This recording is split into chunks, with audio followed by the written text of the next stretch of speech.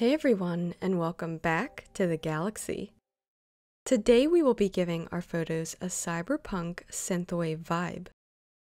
I'm starting with one layer, which houses the photograph I want to edit. I also recommend having a reference photo handy, which will help you reference the effect and which colors to manipulate. First, we are going to go up to Colors and select Color Balance. Starting with the shadows, we want to make them deep magenta purple.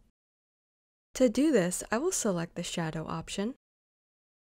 Then, using the color level adjusters, I will drag the bars more towards the color I want to achieve. Between cyan and red, I will drag more towards red. Between magenta and green, I will drag more towards magenta.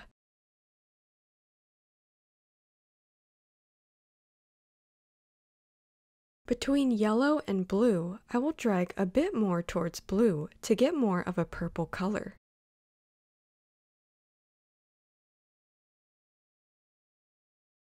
Experimenting with how these options interact will help you achieve the color you want. Sometimes using an intense amount of one color will create unwanted deterioration, See how some unwanted artifacts and noise develops on this photograph as I move this bar to the largest amount towards magenta. It's best to slowly drag these bars until you have the effect you want.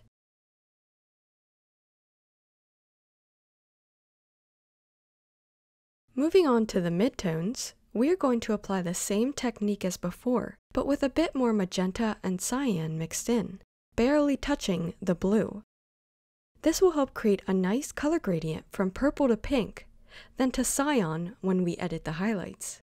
Again, these amounts will differ depending on the light and colors of your original photograph. For example, I really want these mid areas in the road to pop with color. I will experiment by turning this top bar more towards cyan.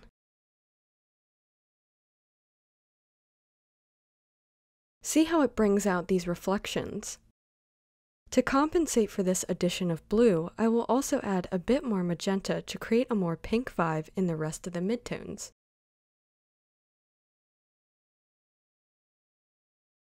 Finally, with the highlights, we want a light blue.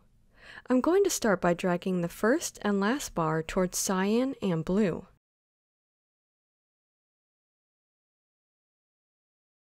You can add some green from the middle bar if you want a more turquoise effect. Once we are happy with the effect, we can apply it by clicking OK. Here's one quick tip. If you want to quickly change the temperature of this photograph, go up to Colors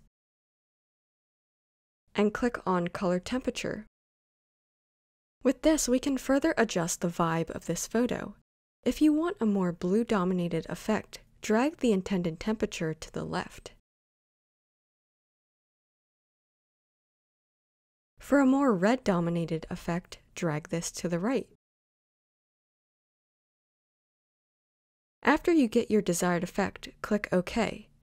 Note that you can skip this step if you are already happy with the colors in your photograph, which I will do. Now my photo is a little lighter than I want it to be. So I'm going to edit the contrast and brightness. To do this, I'll again go up to the Colors menu and select Brightness and Contrast. As I increase the contrast, the darker areas of the photograph will become more prominent.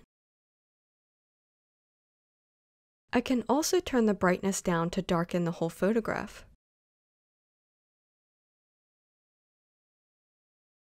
Experiment with these options to create an effect you are happy with.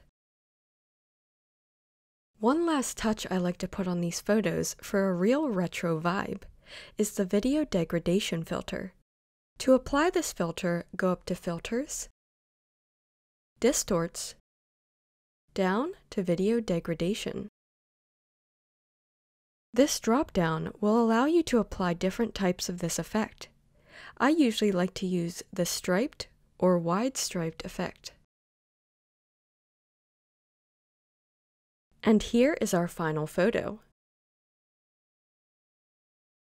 I hope you enjoyed this tutorial. If you did, consider subscribing for more awesome content. Have a request for a video? Drop it in the comments. For more in-depth graphic design discussion, be sure to join our Facebook group, where you can share your projects and ask questions.